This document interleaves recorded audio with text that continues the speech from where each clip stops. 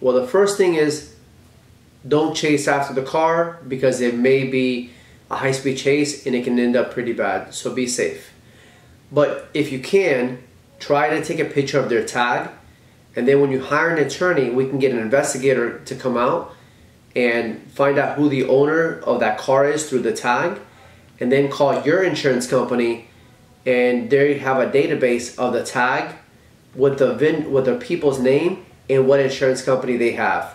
And then at that point, we can find out what their policy is so you can get coverage.